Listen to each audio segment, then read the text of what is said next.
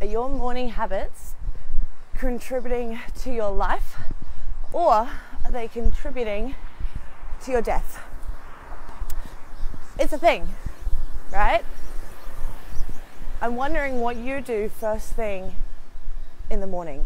As soon as you open your eyes and you realize you're back on earth, back in another day, what's the first thing you do? Get really honest with yourself.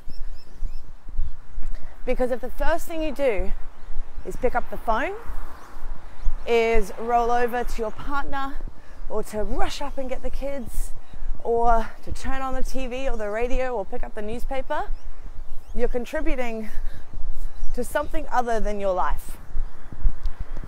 And it can be as simple as 10 to 30 minutes first thing in the morning that you make non negotiable for you. Because as soon as you come out of sleep, you're coming through brain waves that are so easily programmed and molded like a sponge and manipulated with whatever you decide to feed it first up.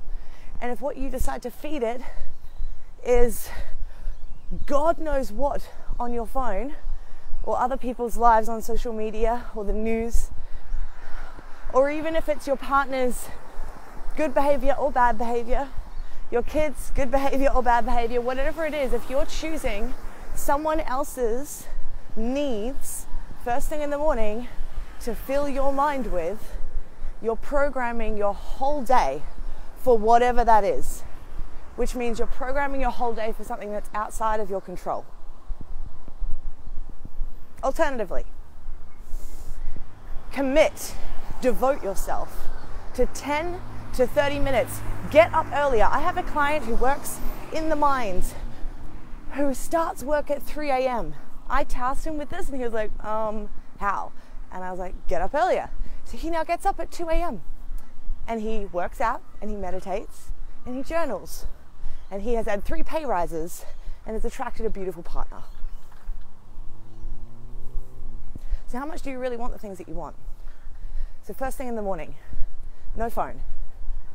First thing in the morning, get up and create a ritual for your mind, for your body, for your life.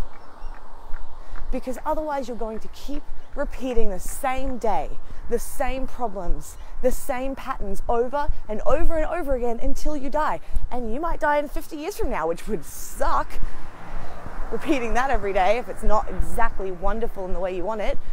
Or you could die today. You don't know how long you're here for. No one knows. But what I do know for certain is whatever you program your mind with, you program your life with.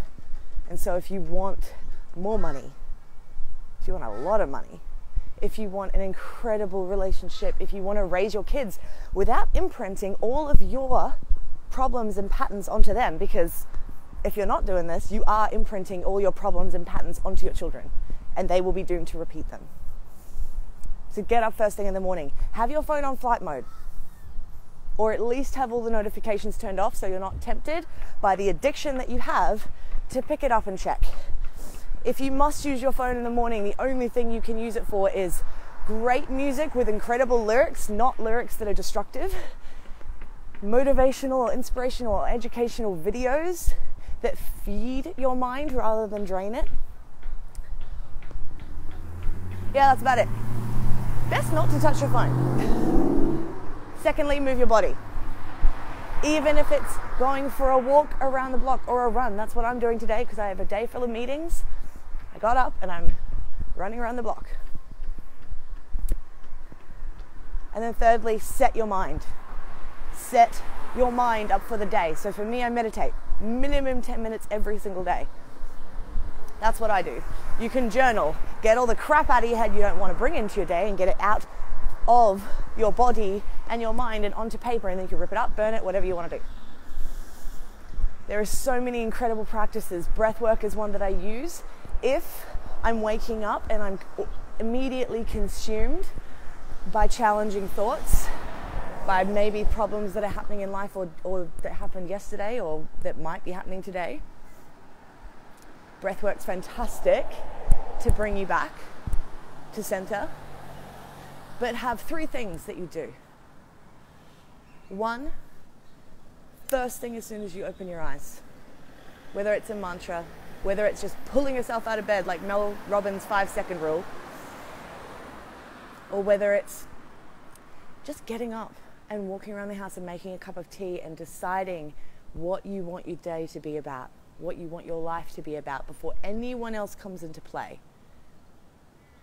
Then move your body and set your intentions for the day and decide what you're going to be about today. Decide who you're going to be in the world because who you are decides what you create and what you experience because you are creating 95% of your life with your unconscious programs.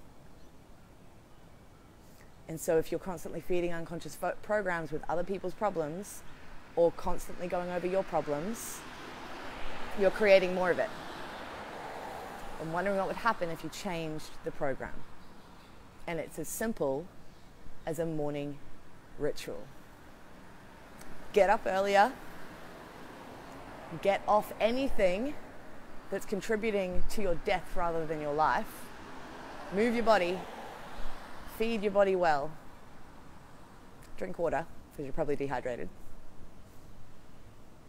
and decide what you want your life to be about every single day. I'd love to know what your morning rituals are. Pop them in the comments so that everyone else can get ideas and let me know what they've done for you. And if you are challenged with this, then let me know in the comments as well. You can reach out to me in DMs. Love you guys. Have an epic, epic Monday. It's going to be a great week.